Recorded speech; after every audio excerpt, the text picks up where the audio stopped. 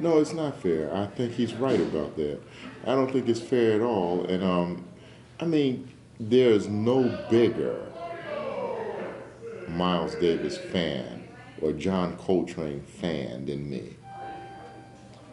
But even I, after a while, start to say how many Miles in India's or Miles in Spain's or how many remake, how many you're going to reissue the records. I mean, the music is the music; it's there, you know.